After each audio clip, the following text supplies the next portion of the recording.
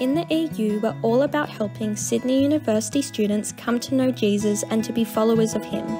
As well as our regular weekly on campus activities during semester, the EU gathers together for annual conference. Annual Conference, affectionately known as ANCON, is a five day residential conference for all students local, international, undergraduate, and postgraduate to be away together and learn more about who Jesus is.